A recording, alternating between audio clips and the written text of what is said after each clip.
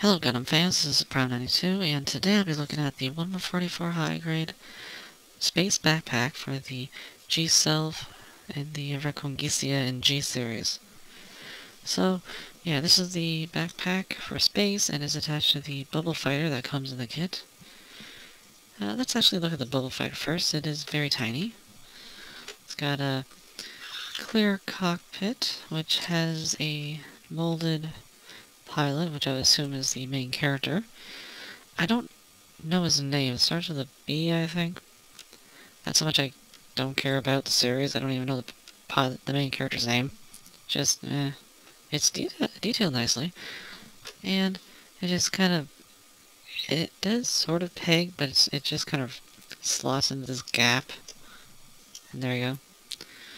And the clear does carry on to the booster. You got some here, and a little bit on the side, and this big chunk. The thing is, this is the only solid piece. This, and you might notice there's nothing there. It fell out, I can't find it. And just before I started recording, that one fell out. Thankfully, I caught it. So, you might want to try and glue it. Um, clear is a little hard to glue because obviously it's clear. If you get any of that any glue that leaks inside, well, you're going to see it. So, yeah. Although underneath all the clear, blue stickers.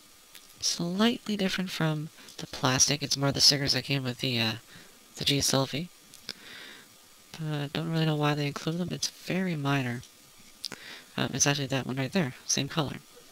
You got some yellow here. Uh, black one in the back. And, uh, well, that's about it. Now, you do get the stand with two connectors. Uh, this one is more for just the bubble fighter. like that. And then of course the top one would be for the booster itself. Just got a hole right on the bottom. And pegs right in. Oops, and that... I don't... What is this thing? Is it like a spoiler? Like the, uh... This thing here, like the Age 1 normal? I don't know. Uh, you do have some articulation, got ball joints here for the big binders, and then ball joints for the smaller ones, which kind of remind me of, like, claws. Kind of weird. But yeah, you got that. And then, of course, you have the accessories. You've got the shield, which very similar to the old one. It's a little more detailed, a little longer, but it's not super different. Um, it does have a blue and a yellow sticker here, but it's a little more Gundam-ish in terms of color and design. Uh, same connector, so it still rotates, and it still connects the same way, but I don't feel it is as, uh, it's about, well, it is as secure, which I don't think is that good. Comes off a little too easily. And then you have the new beam rifle, which pegs nicely into the hand. It looks a little more uh, futuristic than the old one, which uh, they're both fine. Just, I I feel like this handle should move, but it doesn't, as, I, as far as I can tell. And you get a little sticker for the scope, same blue. And that's it for the weapons. So all there's left is attaching it to the back. Although before I do that, let's compare the booster to the old one. And you can see, uh, very different. It's a lot bulkier. Uh, just a lot, uh, like, this is very impulse, uh, impulses, impulse-ish. This is very, what the hell, I don't know. It's, it's different. It is different, I will give it that. Originality. It gets points. So just peg it in. And, yeah, and there it is. I also don't feel these pegging very well. And that is the G-Selfie with the Space Booster.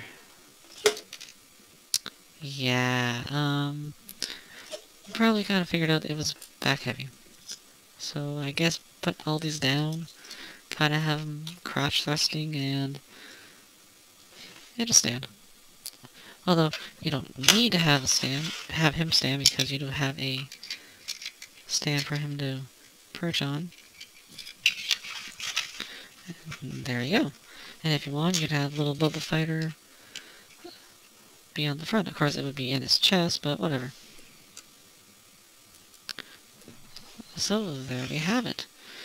That's about it. That is the space backpack, and I gotta say, not impressed. Not at all. The weapon and shield, way too similar to the old ones.